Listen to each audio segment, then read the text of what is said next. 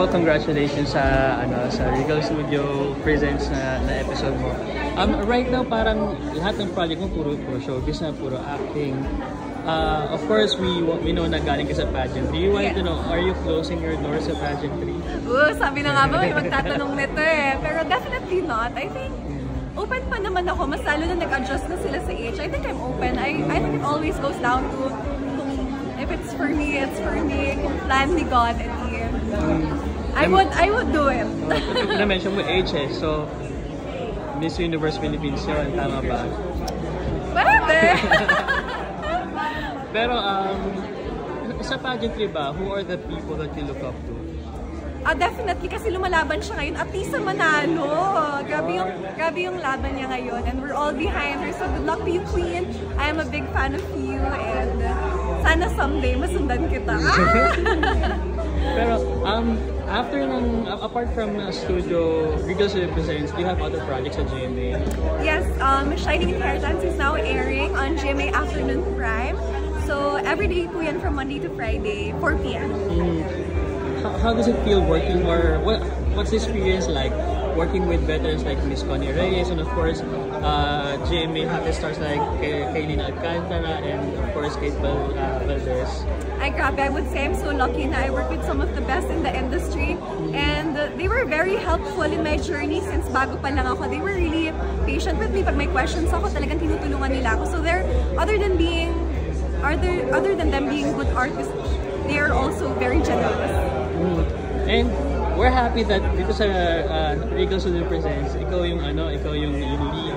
Um, can we expect more ba na, more projects from you na ikaw yung lead star? Yes, hopefully, um, kung biyayaan. And I really enjoyed playing um, uh, outside. I'm, although I'm very grateful to be a kontrabida, I also love playing yung mabait naman siya. And uh, yun nga, dito sa, I'm also very grateful sa Regal kasi binibigyan nila yung, ng opportunity yung mga bagong artista magkaroon ng lead na role. So napaka daming lines. Yun yung gusto ko kasi pinakamasaya ako pag nagtatrabaho. So gusto ko yung challenging.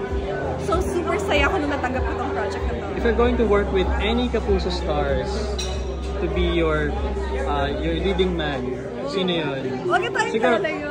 Sige, Ano? top 3 na lang, top 3 Ah, mo. top 3? Sige. Nako, lagi ako may, ano, may answer pag first eh. Pero yung Pressure, dalawa. pressure. Siyempre yung una, huwag na tayong lalayo. Alden Richards, di ba? And sino pa ba? Um, siguro si Ruru Madrid kasi he's also a very good actor. And pwede,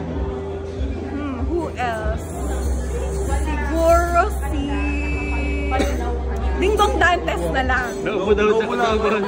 hindi, hindi pa daw naka-work and naka-work ko na siya eh. So, na-check off na yung prints doon kaya Dingdong Dantes. okay.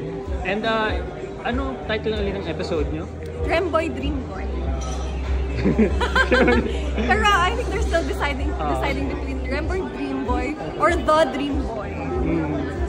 What's a dream boy of ano? Of Roxy Smith? Of me in real Ah. life, gusto ko yung masipag. Masipag? Number one, masipag. Mabait. Hmm. Hardworking. What about the looks? Medyo particular ka ba sa looks? Hindi naman. Um, let's be real na lang. Siyempre, mata ang unang nagmamahal. Kailangan, kahit pa paano naman, siyempre, someday, pag-isip mo ng umaga, yun agad yung makikita mong mukha. So, gusto ko naman na may, kahit pa paano, may itsura. Pero, I think what would make me um, choose a lifetime partner is the personality. Nice. Last question na lang. Um, what is Roxy Smith uh, biggest dream in showbiz? My biggest dream in showbiz is to be part of a fantasy series kung saan lead ako doon. Malay mo magkaroon ng ano ng second installment ang ano ang Encantadia na ano, di ba? Aantayin ko yan. Yan natin, manifest natin. Manifestation goes a long way. At totoo yan, naniniwala ako dyan. Well, thank you very much and good, uh, good luck. Thank, you. Thank you so much.